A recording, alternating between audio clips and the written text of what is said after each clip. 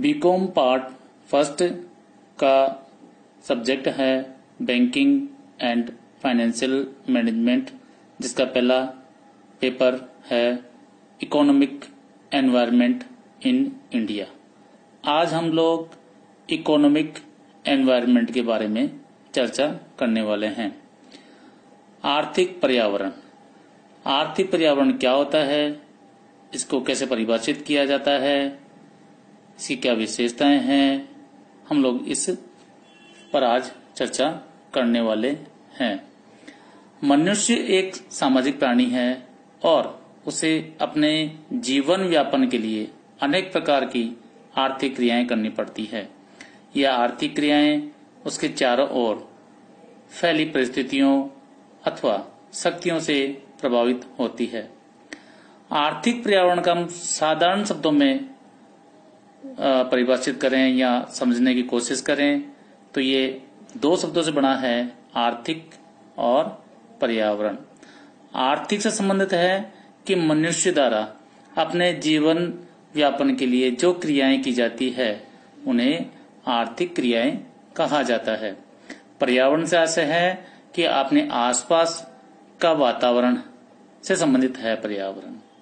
इस प्रकार आर्थिक पर्यावरण से आशय उन सब निकटवर्ती परिस्थितियों एवं शक्तियों से है जो राजनीतिक, सामाजिक, सांस्कृतिक, वैज्ञानिक, प्रौद्योगिक एवं तकनीकी दशाओं के साथ साथ अंतर्राष्ट्रीय शक्तियों के रूप में व्यक्ति की धनोपार्जन संबंधी क्रियाओं को प्रभावित करती है तथा उनसे प्रभावित भी होती है।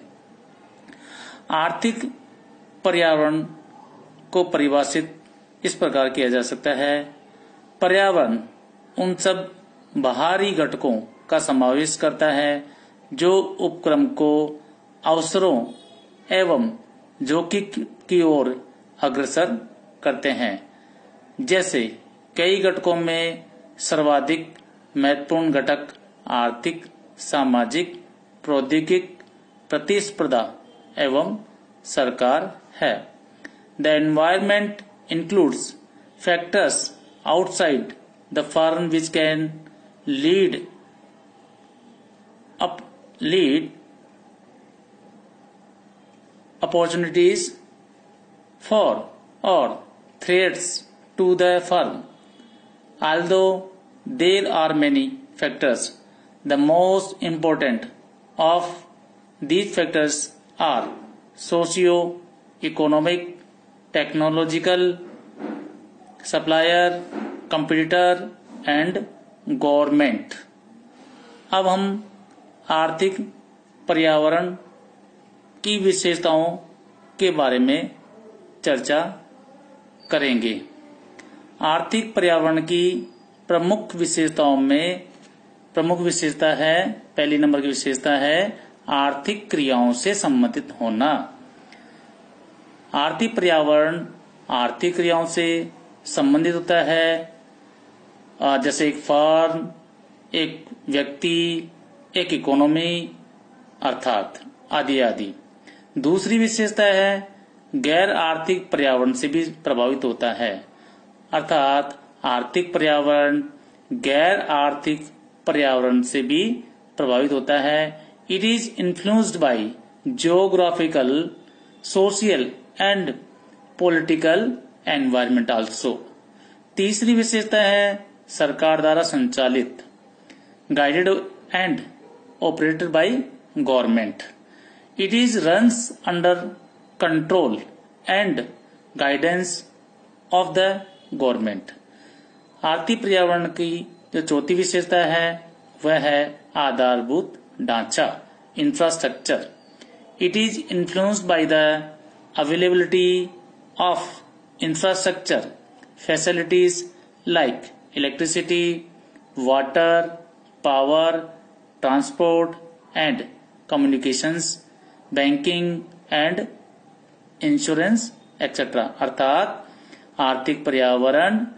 पावर बिजली परिवहन संचार बैंक व बीमा से प्रभावित होता है इसकी पांचवी विशेषता है समाज में संपदा का वितरण distribution of wealth in society आर्थिक पर्यावरण समाज में संपदा के वितरण से भी प्रभावित होता है या संबंधित होता है। Unequal distribution of wealth and centralization of economic powers lead to economic inequality and exploitation अर्थात, आर्थिक पर्यावरण असमान आर्थिक संपदा के वितरण से अनइक्वलिटी और शोषण को बढ़ावा देने की बात भी करता है।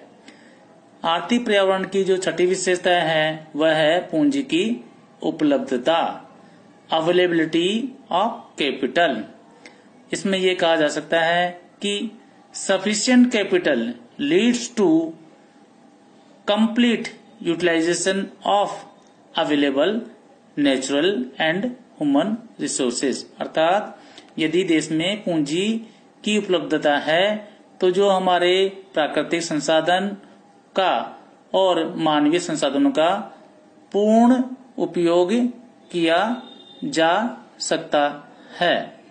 आर्थिक पर्यावरण की जो अगली विशेषता है, वह है सातवीं, वह है आर्थिक विचारधारा इकोनॉमिक आइडियोलॉजी इसमें कहा जा सकता है कि it is affected by capitalistics socialistics communist mixed and Gandhistic ideologistics अर्थात कि आर्थिक पर्यावरण, जो देश की आर्थिक विचारधारा से प्रभावित होता है। जैसे पूंजीवाद है, समाजवाद है, साम्यवाद है, मिश्रित अर्थव्यवस्था है। हमारे देश में गांधीवादी विचारधारा को भी महत्व दिया गया है। आर्थिक पर्यावरण की आठवीं विशेषता है प्लान, इकोनॉमिक, अर्थात नियोजित अर्थव्यवस्था। In this economy, the entire resources are under control of state and central planning commission according to national priority अर्थात आर्थिक नियोजन से आर्थिक पर्यावरण प्रभावित होता है। आर्थिक नियोजन में सभी निर्णय सरकार द्वारा लोगों के हित में लिए जाते हैं और सेंट्रल प्लानिंग कमीशन देश के प्राथमिकताओं के आधार पर निर्णय लेता है। धन्यवाद।